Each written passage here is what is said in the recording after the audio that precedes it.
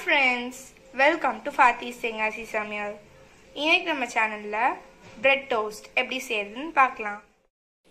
இப்போ நம்ம bread toast பண்ண போகிறோம் அதை எப்படி பண்ணலான்னு பார்க்கலாம். இப்போ அதுக்கு வந்து ஃபஸ்ட்டு ஒரு முட்டை எடுத்துக்கோங்க.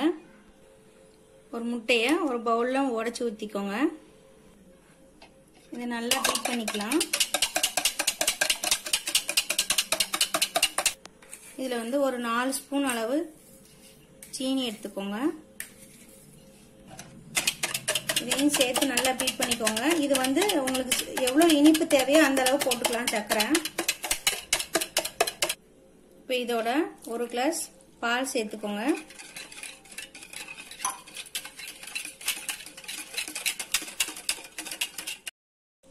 ஒரு தோசை தவால கொஞ்சமா நெய் விட்டுக்கோங்க.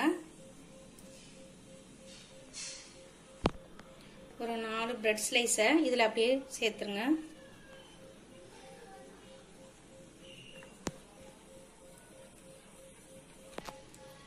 ஒரு நிமிஷம் அப்படியே விட்டுட்டு பெரட்டிருங்க.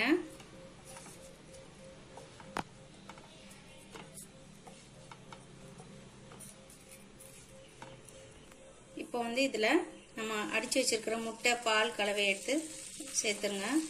முட்டையும் பாலும் சேர்த்து நம்ம அடிச்சிருக்கனால ரொம்ப சாஃப்டாக இருக்கும்.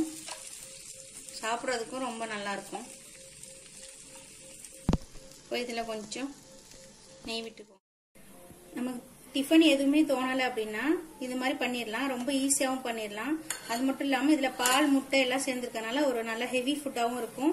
நமக்கு வயிறும் நிறைஞ்ச மாதிரி இருக்கும். பசங்களுக்கும் ரொம்ப பிடிக்கும் இது.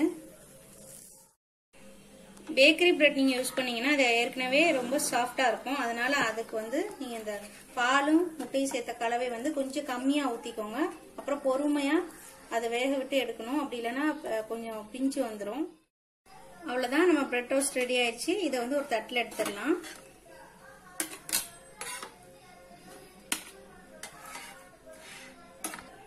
இப்போ நம்ம முட்டை யூஸ் பண்ணியிருக்கிறதுனால ஸ்மெல் வருமோ அப்படின்னு நீங்கள் யோசிக்க வேண்டாம். கண்டிப்பாக வராது. நம்ம அதை நல்லா அடிச்சுடுறோம் இல்லையா? அதனால அதனால ஸ்மெல் வராது. தேங்க்யூ ஃப்ரெண்ட்ஸ் உங்களுக்கு இந்த வீடியோ பிடிச்சிருந்துச்சுன்னா ஃபாதீஸ் நீங்கள் சமையலுக்கு சப்ஸ்கிரைப் பண்ணுங்கள்